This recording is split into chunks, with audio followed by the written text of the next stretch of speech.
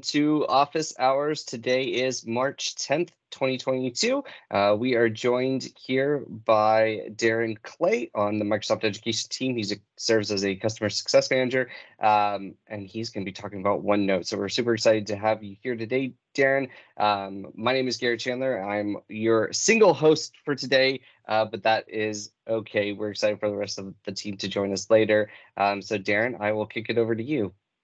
Awesome. Thanks so much, Garrett. I'm happy to be here with everybody everybody today. As Garrett mentioned, I'm supporting the Southeast, so I see some Southeastern friends on the call, so super excited to be with you.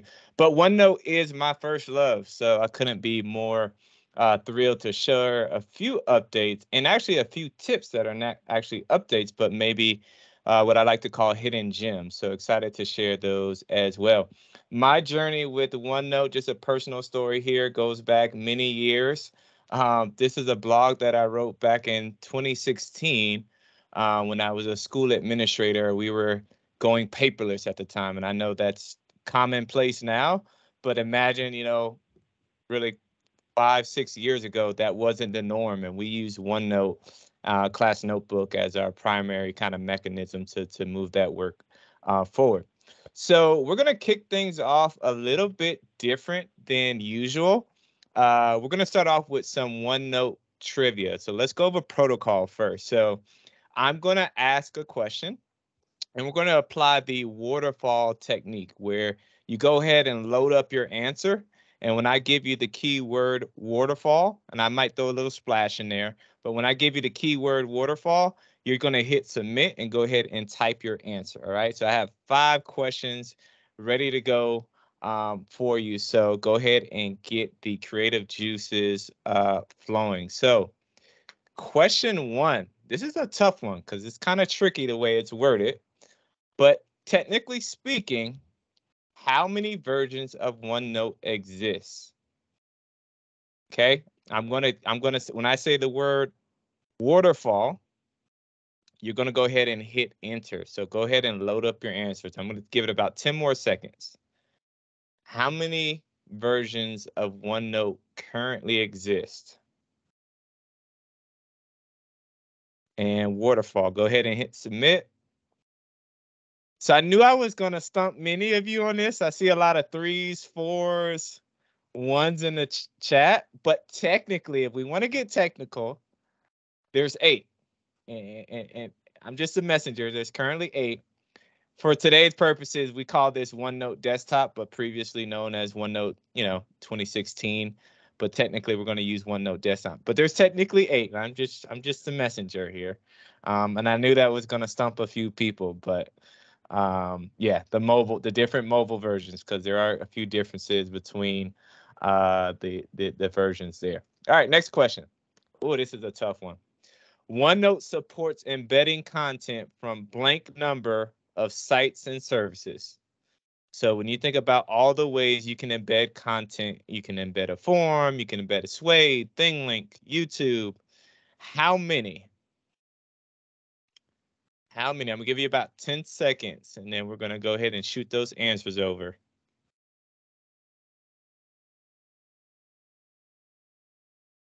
All right, go ahead and waterfall your answers in.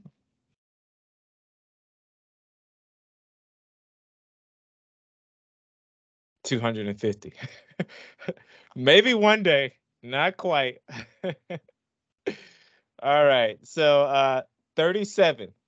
If you go to this link, and I'll be sure to drop this link in the chat, but aka.ms slash OneNote embed, you can actually see all the supported ways are um, supported sites and services that are currently embedded inside of OneNote.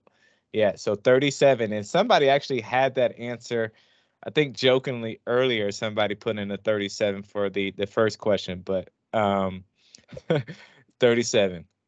All right, next question. Who invented OneNote? This is like bonus points. Who invented OneNote? Early 2000s.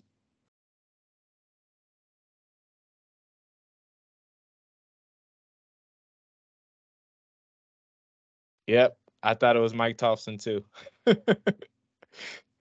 go ahead and go ahead and submit your answers. Uh, the, the brainchild behind OneNote was actually Chris Pratley. He's actually still on the Microsoft team to this day. All right. This one, I hope you, I hope you get this one because many of you use it or are familiar with it. So I am giving you a lifeline here. But which current OneNote feature evolved from a hackathon back in the early 2010s?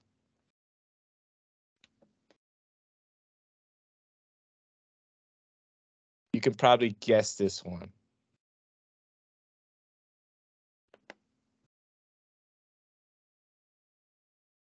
All right, shoot out your answers.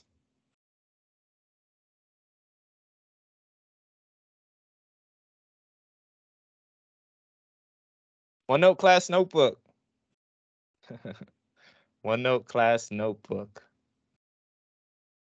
All right, final question I have for you. OneNote was made for two types of people. For two types of people. What are the two types? So you can think about personality types, but two types of people. My answer is going to be tough. You're probably you probably will land somewhere on the answer, but two types of people.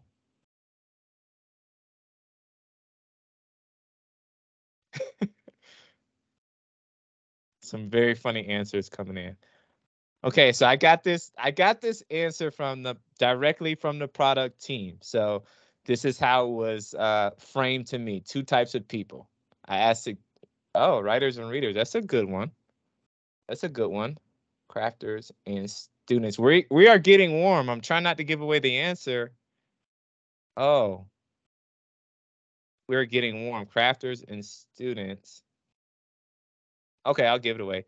Pilers and filers. Why do we say that? Because with OneNote, the beauty of it is it's an everlasting pages and sections, and you can just pile on content and information. So it was designed for that purpose to just dump, you know, all your content and information over time. And as also with the organizational features, it was designed for somebody who really likes to file away information, be super organized, color coded, um, etc. So pilers and filers. And you said it, Dwayne said it actually, organized and unorganized. So yeah, I think we we're getting warmer here. So that was a little one note trivia. Um, so excited to play that that little game with you today. So I have a few topics today. OneNote live captions, that's a brand new feature. We just announced that um, last week.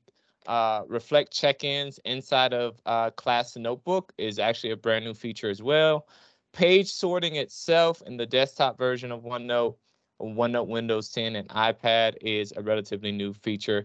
The, the ability to embed an image into a background itself is not a new feature, but um, being able to do that in the web is a relatively new feature. I will share a few meeting tips here, um, and somebody already mentioned it, but the ability to print to OneNote is my top favorite. I actually wrote my dissertation inside of OneNote, so I captured all my articles and was able to uh, draft out different chapters all inside of OneNote. So definitely familiar with that. And I have a super special bonus add-in. This is like the best kept secret. It only works in one version of OneNote. I don't want to give it away right now, but I'm actually going to uh, move that up probably to this area before we go over tips. But I'm super excited to share a special bonus add-in. So let's go ahead and get started. Some of you may uh, be familiar with uh, this brand new uh, feature called live captions. We just made an announcement last week, but with live captions, we are actually using the technology built into Microsoft Translator, uh, which allows, of course, translation in 100 plus languages. And it's really a cool workflow for not only students, but quite honestly, it, it'd be helpful for me myself when I'm in meetings to be able to translate, highlight, um, pause, and play as needed. You're able to see that. So I'm going to go ahead and do a quick demo on those live captions right inside of uh, OneNote here. And I know this is probably going to come up, but the versions that we have it available in right now is Win the OneNote uh, from Windows 10 app, we have it in um, the web app. We also have it in Mac, and we also have it in the iPad version from OneNote. right? It's also available in the Teams web client and the Teams desktop client. So I'm going to go ahead and share here. So on my phone here, I am starting a translator session.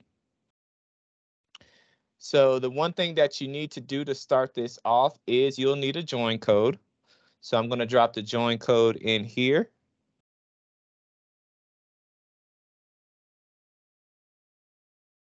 And I'm going to join. So I'm going to record my voice as we kind of go over this demo. So you'll see um, the voiceover start to come here as is captured with these live captions. The coolest thing to think, the coolest thing about this, you can go ahead and highlight in real time. Um, you can also copy and paste. So if I wanted to, let's say the instructor is still speaking and you know it's too much information for me at the time and I needed to pause and you know just catch just process everything and kind of make it a little bit more digestible for myself. I can pause the captions as the instructor still speaks, right? And throughout that time, um, the captions will still be captured when I hit resume. So everything that the instructor said, uh, everything that the instructor said will still show up when I hit resume. So as you know, I've had it pause for a second there and I hit resume and all that content will um, show back up. So I think it's a really cool um, feature that it really, you know, gives um, that inclusive, accessible, accessible experience for students. Now notice I can also increase the size and I can just drag this over. So if this is a really good quote, I'm going to stop my highlighting here. If this is a really good good quote that I want to make sure that I capture as a student, I can copy and paste that content. So say I want to pause it here and say I want to copy that content. Let me stop highlighting. Here we go. And I want to copy this content here. I can copy it and just drag it over to my OneNote. Right. So I, I know many of you on the call have probably been in situations when you were like me and many years ago in undergrad and you were trying to write everything the teacher said. Um, you can actually solve for that with this tool. I know we all have pain points from previous experiences with that. So I know the big question that you'll get, especially if you're in the IT side. So, you know, how does this work? What what does it look like on the back end in terms of, you know, is there a transcript involved, et cetera, et cetera? The short answer is yes. So there is a transcript um, that uh, students would essentially have. So there's a transcript section here where it will capture everything that's being um, you know said. It even remembers what I highlighted, right? So that transcript section is here. Say if you're a student and you don't necessarily need a transcript section or you don't you know, necessarily want that, you can go right down here to settings and you can disable that here, right? And you can also change your captions language, of course. And this is where the Microsoft Translator, uh, you know, features come into play where you have the plethora of languages to choose from. So super excited about this um, and how it works. And again, it will be coming to uh, OneNote desktop if we do have OneNote desktop users on the on the call or listening to the recording, it will be coming um, there. So eventually. So for right now, again, available on the web, Windows for 10, Mac, and iPad. Um, so I just wanted to share this brand new um, update with you. I'm going to pause, just check for any questions.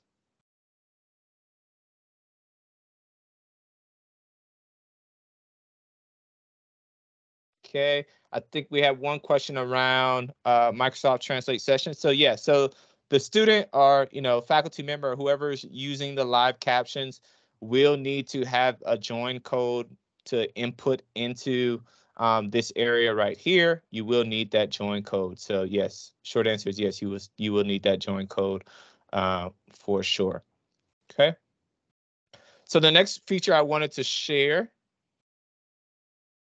here uh, is the reflect and check-ins inside of class notebook. So just to level set, reflect is a tool that we recently launched um, this past fall, uh, which really targets the social emotional domain. If you think about uh, the different, you know, uh, components of a student's experience, social emotional learning has uh, definitely been a focal point um, throughout, you know, the country um, over the last several uh, years. So with that being said, if I'm an instructor, I'm able to go here inside of my class notebook tab here, click on reflect, and I can ask a question and I can customize that question, right? So in this scenario, the students are learning about plate tectonics and those questions can be uh, customized. So it can be a, a, question related to the understanding of content. Um, you know, you can have those questions uh, customized and you'll see the question will pop up right here live inside of the OneNote page itself. Show another view on the on the on the, the front end and the back end on how it looks. So um, you have the ability to, again, customize that question. You can add it directly to the page. Um, some of you are familiar with the Reflect app, which you can add directly to a Teams post. You guys are probably familiar with that. Um, but in this scenario, it would live inside of OneNote. So this is how it would look after st the students complete the check-in. Um, you'll be able to see the data here as well.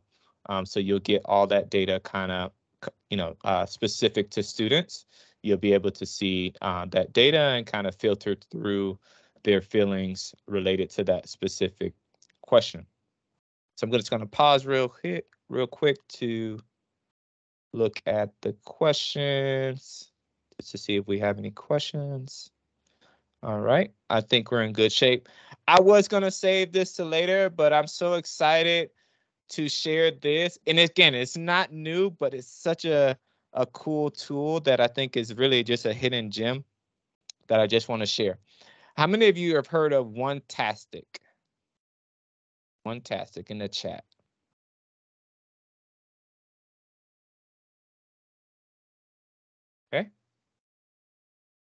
Mm, okay. Yes. Onetastic. So for those of you who don't know what Onetastic is, I'm going to go here this now this is only available in OneNote, the desktop uh, version of OneNote, but I have it here. I'll kind of share on the just to give you an overview of exactly what it is. So um, it is a free tool that you can embed directly into OneNote, the desktop version, and it's filled of macros. So macros meaning you know kind of like sub programs um, that are used for you know operations or um, if you're trying to uh, create a create a automate a task or create a function, um, you're able to do that through macros. You can actually build out your own macros um, inside of this tool. So this is what it is. I'll drop the link in the chat, but I want to show you a few cool pre-built ones. So I downloaded it here. You can see it lives on my home on, on in my ribbon here under the home tab. Um, I can launch OneNote Calendar. The thing I really like about OneNote Calendar is I can see all the updates that have been made to my specific uh, OneNote pages. I can see all of the updates that have been made just by clicking on these links. It'll take me directly to those updates that have been made. Like, so whenever I create a page or I add content, I can just go back historically in my calendar to see um, when updates have been made. In addition to that, one of the coolest ones that I really like, I think that could be a real time saver, is this table of contents um, option. So you can have a table of contents built out uh, for each particular section. So say if you have a section with a plethora of pages, because you know OneNote can be for powlers or fowlers. So if you like to really keep your things organized in section groups and things of that sort, um, you can have that set up or you can have it set up for one particular section. But you can determine the scope uh, with the section groups or, you know, versus section versus pages. Um, you can have it set to collapse. Or if you choose not to have it set to collapse, you can choose that as well. Uh, but this is so cool to me. I think it's a co really cool feature. Again, unfortunately, it's only available in OneNote, the desktop uh, version, but you have that. I'm just going to show you um, other macros that can be downloaded. Just so you can kind of see the library, so to speak, here of things that you can have downloaded, all these different types of rules, you know, all these kind of automated, kind of preset subprograms um, that you can have running with your OneNote. So some really cool features here um, that you can play with. So um, I encourage you to think about how this could work for you. I use the calendar one so I can kind of keep myself abreast of what's going on, especially think about if you're doing like multi-user collaboration where you're having multiple folks kind of collaborate on a particular page. Yes, it will turn bold so you kind of know there was an update, but if you just wanted that calendar glance to see um, you know, those pages that have been updated, you can see that. Um, there's also a weekly planner in here, uh, which is pretty cool that you can add as well. I'm gonna pause real quick, check the chat, see if we have any questions. Yes, great, great question, Mark. Yes, so OneNote desktop version has been rejuvenated. Um, so you're definitely going to see more and more features coming to OneNote desktop. Um, again, that was my first love. So when I heard that, I was excited as well. So um, yes, it is being rejuvenated and you'll see more and more videos coming out, um, YouTube videos from Mike coming out in regards to those updates. All right, so I know we have just a, a few more minutes here. I do want to make sure that everybody sees this feature and I'm going to use, I'm going to go ahead and use um, this version of OneNote, this is OneNote for the Windows 10 app, so you guys can get different views here. Um, but um, you can actually filter here and sort your pages alphabetically, date created, date modified. So I can, I just switch these two. If you want to, um, say you're in a situation where you did not want to filter them and you wanted to kind of go back to the original way the pages were built and the pages were added to the different sections, you can just click none and it will go back to the original way. So um, that's definitely a cool feature that I think uh, many people will appreciate. Um, and again, that's available in OneNote desktop, OneNote uh, for Windows 10, and OneNote for iPad. So uh, that is a relatively new feature um, that may have just crept up on you, but it, it is a new feature that has um, been rolling out. All right, so you can filter those pages and sort those pages there. And if you didn't know, you can also, I'll just share this real quick, the meeting details. It's a really cool feature that you can use. Um, you can drop meeting details in here and you can expand participants. So if I click here, it will open the list of participants. You can create those meeting notes as well. I think pretty much many of you know that you can print to OneNote as well. Um, so if there's a, a, a web page or um, a PDF that you want to just live inside of OneNote, um, you can have that printed to OneNote. One other thing that's a new feature that I definitely want everybody to know, um, you can set images to background on the web now. That existed on you know the desktop and the Windows 10 version, but now it's available on the web. So if I have this image here, as you can see, I can move it, but if I set it to desktop, uh, or excuse me, set it as a background uh, picture, uh, I can have it, um, I can have content laid over it, or there's another brand new feature where you can use the draw to touch here and you can draw over it, or if you want to highlight content while you're taking uh, your live captions, um, you can have that kind of displayed here and you have the ability to use those different features. So definitely um, some really cool scenarios in which you might want to uh, have that image kind of pasted in the background um, and, and stationary there. You, you definitely might have some scenarios in which you might want to use that. So I have a couple more things here I just want to share. Um, as we go on to the transcripts, I just want to make sure that everybody knows that this can be disabled. So the first time I did this, it popped up. Now it took about a minute or so for that section to pop up, but it will pop up the first time and that section will stay there. So that section actually remains there um, and you'll be able to you know, kind of go back to all of your transcripts, so to speak. Um, over time, whenever you use a live captions, those transcripts uh, will live there. Check the chat real quick just to see if we have any questions.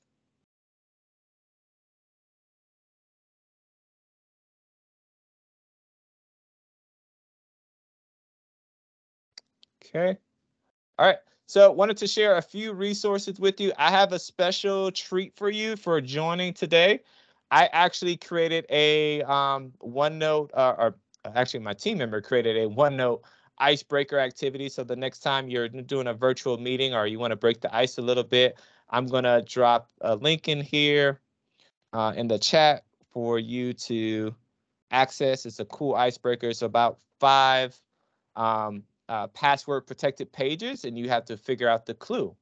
The clues are already here, so I'm going to drop the clues in the chat as well. So you can copy and paste that, but those are the clues that you can use and the activities that you can do um, as a part of the icebreaker. Some of you may wonder or may be wondering, how do I password protect? Um, that is a feature that you can find in OneNote, the desktop um, version. So I will show that really quickly. So if I wanted to password protect this section, I'm able to do that by right clicking here and clicking on password protect. And I would create a password, etc. So that is something that you can do. But again, that's a, just a virtual breakout room um, that you can do. Just wanted to give you that content and I'm dropping all of the content from our session today inside the chat. And I guess, uh, Garrett, do we want to open it up for questions or wrap up? Yeah, absolutely. I'm actually going to go ahead and stop the recording. So thanks so much for joining today. So let me stop this.